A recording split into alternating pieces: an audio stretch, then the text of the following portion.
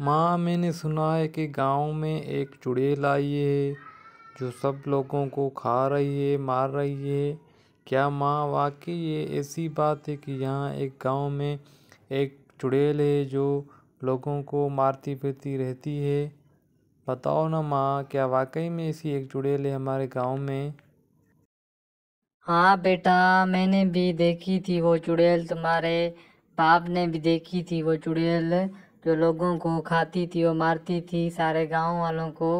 फिर उसके बाद फिर अचानक कहाँ चली गई थी? फिर नज़र नहीं आई। अरे बेटा, ये देखो, तुम्हारे पीछे ही है वो चुड़ैल जो हमने देखी थी पहले।